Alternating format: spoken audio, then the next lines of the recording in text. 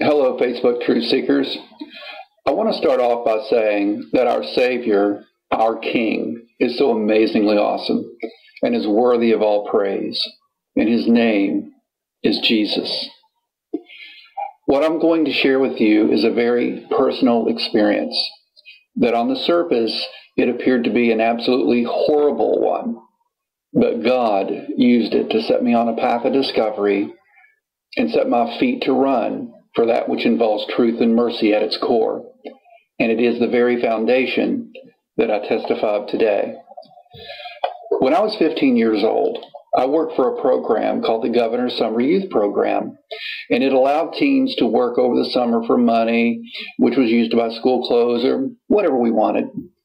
I worked for the city of Williamson, and there we cut grass, all trash and garbage. And one day, while on lunch at the office building, my boss, who was an apostolic preacher, he's an older fellow. And for those who don't know what an apostolic is, they believe in Jesus only. And he began to talk about the Bible, and then he began to question me about the Bible. Even at a, at a young age, I loved having conversations that involved God's Word. The Lord put that desire in me, and it continues today. He asked me if I believe in the Trinity teaching. And I told him, yes, I believe that the Father, Son, and Holy Ghost are separate but one.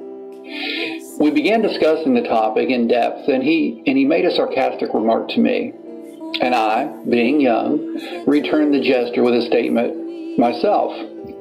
And I reminded him that when Jesus was baptized, there was a voice from heaven that said, This is my beloved Son, in whom I'm well pleased.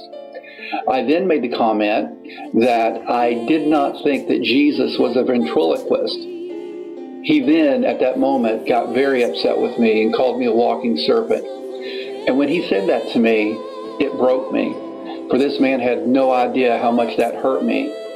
He unknowingly just called a young teenager whose mom and dad died nine months apart, who lost his home not once but twice by floods, who had to endure physical and sexual abuse by different family members, and who, quite frankly, didn't care if he lived or died one day to the next.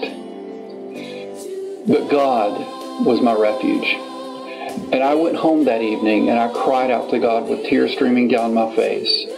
I put my hand on the Bible and I said, God, I don't care about this or that belief. I just want to know the truth of your word. I don't care where it leads me. You see, this fatherless boy was in desperate need of acceptance and love from other people. And from that time forward, God began writing his word on my heart, and I thank God it has never departed. And that's why I'm so excited about this forum.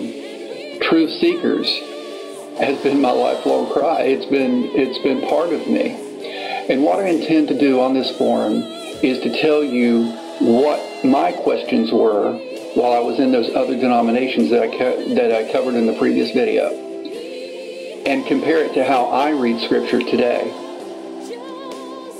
I ask that the Lord may bless you, every one of you, and may the Lord's face shine upon you and be gracious to you and give you peace.